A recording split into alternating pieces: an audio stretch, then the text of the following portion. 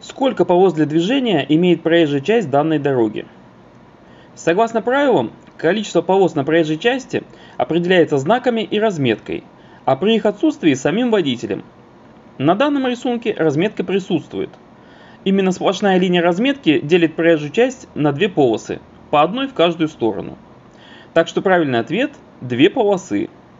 А если вас смущают мотоциклисты, то необходимо отметить, что по правилам они могут двигаться по полосе в два ряда. Количество полос от этого больше не становится. Так что правильный ответ – две полосы. Эти знаки предупреждают вас. По пейзажу можно сказать, что мы движемся вне населенного пункта. Предупреждающие знаки за пределами города устанавливаются на расстоянии от 150 до 300 метров до опасности а табличка под знаком «Опасные повороты» указывает протяженность этих самых опасных поворотов. То есть получается, что знаки предупреждают нас о том, что на расстоянии от 150 до 300 метров за дорожным знаком начнется участок дороги с опасными поворотами протяженностью 500 метров. То есть правильный ответ о том, что на расстоянии 150-300 метров за дорожным знаком начнется участок дороги протяженностью 500 метров с опасными поворотами. Какой из указанных знаков распространяет свое действие только на ту полосу, над которой он установлен? Очень простой вопрос. Табличка со стрелкой как раз и указывает полосу движения, на которую распространяется действие знака. Таким образом, знак А, ограничение максимальной скорости, распространяет свое действие только на ту полосу, над которой он установлен. То есть правильный ответ только А. Вы буксируете неисправный автомобиль. По какой полосе вам можно продолжить движение в населенном пункте? Смотрим сразу на знак. На нем видно ограничение минимальной скорости по левой полосе не менее 60 км в час. Именно минимальный, поскольку максимальную скорость ограничивают запрещающие знаки, имеющие красную окантовку. Теперь вспоминаем, что максимально допустимая скорость при буксировке составляет 50 км в час – Значит, мы не имеем права разгоняться до 60 и выше, что является необходимым условием движения по левой полосе. Соответственно, продолжить движение при буксировке можно только по правой. Правильный ответ – только по правой.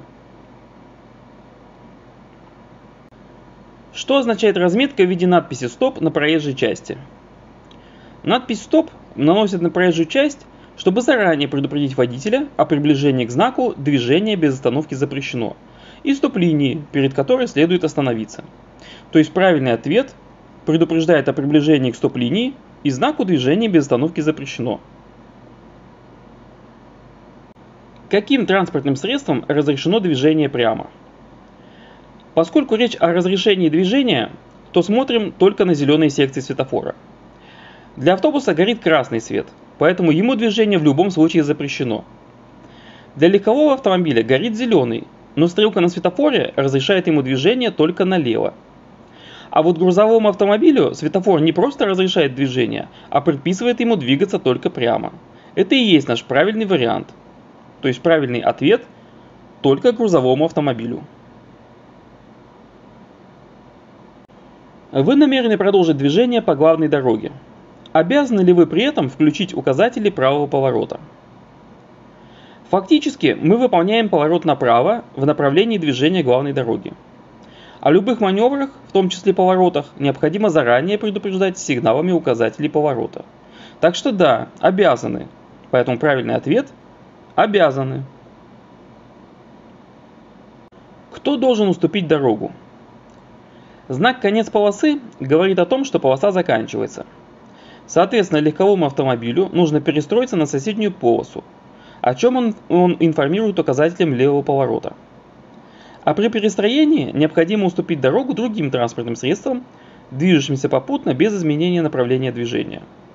Вот почему водитель легкового автомобиля должен уступить дорогу грузовому. Правильный ответ – водитель легкового автомобиля. Вам нужно выполнить разворот. Если расположенные слева трамвайные пути находятся на одном уровне с проезжей частью, то разворот следует выполнять именно с них. Так что по правилам выполнить разворот можно только по траектории B. А вот если бы висел знак движения по полосам, то выполняя его требования, мы бы двигались уже по траектории А. Обратите внимание, что такой вариант вопроса в билетах тоже есть. Но в данном случае правильный ответ только по траектории Б. По какой полосе проезжей части разрешено движение в населенном пункте, если по техническим причинам транспортное средство не может развивать скорость более 40 км в час? Вообще не имеет значения, где и по какой траектории мы движемся. Будь то населенный пункт или нет, если транспортное средство по техническим причинам не может развивать скорость более 40 км в час, ему разрешается движение только по крайней правой полосе. Так что правильный ответ – только по крайней правой. Разрешено ли вам обогнать мотоцикл? Согласно правилам, обгон на перекрестках разрешен только при пересечении неравнозначных дорог при движении по главной дороге. Именно на такую ситуацию указывает наличие знака «Главная дорога». Значит, нам разрешается обогнать мотоцикл на этом перекрестке. Правильный ответ – разрешено. Разрешается ли вам остановка для посадки пассажира в этом месте? На рисунке указано место остановки общественного транспорта, о чем свидетельствует соответствующий знак. Транспортным средствам разрешается останавливаться здесь только для посадки и высадки пассажиров. При этом нельзя создавать помехи движению маршрутных транспортных средств. То есть остановиться для посадки пассажира мы можем, при условии, что не будем создавать помех. То есть правильный ответ – разрешается, если при этом не будут созданы помехи для движения маршрутных транспортных средств. Вы намерены проехать перекресток в прямом направлении, а ваши действия. Наивысший приоритет здесь у автомобиля с включенным проблесковым маячком и специальным звуковым сигналом. Он может отклоняться от правил и в любом случае проедет первым, несмотря на запрещающий сигнал светофора с его стороны. Затем движение продолжим мы, поскольку грузовой автомобиль при повороте налево обязан уступить дорогу встречным транспортным средствам, то есть нам – в итоге получается, что мы должны уступить дорогу только автомобилю с, проблеск... Э, с включенным проблесковым маячком и специальным звуковым сигналом. Правильный ответ – уступите дорогу только автомобилю с включенным проблесковым маячком и специальным звуковым сигналом. Кому вы должны уступить дорогу при повороте направо? Ближайшему пешеходу необходимо уступить дорогу, потому что он переходит проезжую часть по нерегулируемому переходу и, соответственно, имеет преимущество в движении. А дальним пешеходам уступаем дорогу согласно правилу, обязывающему уступать дорогу пешеходам и велосипедистам, пересекающим проезжую часть дороги, на которую вы поворачиваете. Правильный ответ в этом вопросе – всем пешеходам. Как вам следует поступить при выполнении разворота? Вместе с легковым автомобилем мы находимся на главной дороге. Это подтверждается установленным дорожным знаком – Значит, грузовой автомобиль находится на второстепенной дороге, поэтому перекресток он проедет последним. А вот легковой автомобиль, наоборот, продолжит движение первым. Он имеет преимущество, поскольку выполняя поворот или разворот, мы обязаны уступить дорогу транспортным средствам, движущимся во встречном направлении. Таким образом, уступаем дорогу только легковому автомобилю. Правильный ответ – уступить дорогу только легковому автомобилю. Какие из перечисленных действий запрещены водителям механических транспортных средств в жилой зоне? Давайте рассуждать логически. Для сквозного движения жилые зоны не предназначены. Можно подъехать к месту проживания, но если все будут кататься туда-сюда, то это будет представлять опасность для пешеходов. Учебная езда в жилой зоне также представляет опасность для окружающих. Неизвестно, как поведет себя ученик за рулем. А что касается стоянки с работающим двигателем, то это угроза здоровью из-за выделяемых выхлопных газов. Суммируем вышесказанное и приходим к выводу, что все перечисленные действия в жилой зоне запрещены. Поэтому правильный ответ – все перечисленные действия.